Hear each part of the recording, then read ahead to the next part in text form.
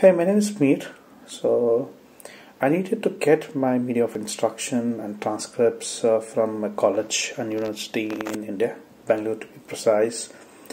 As I live abroad, coordinating with my college or trying to get certificates from universities, right? When uh, there is no online facility as such is a challenge. So that's when facts came in.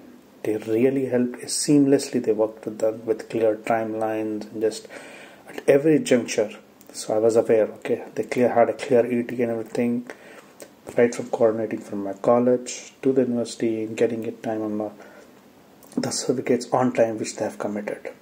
Very professional service. The best part about them is the response. They're spot on. Very clear response. You raise a query they ticket the same day they respond. And they ensure that you are updated at each step of the work they're doing. Thanks facts. Okay. Would love your service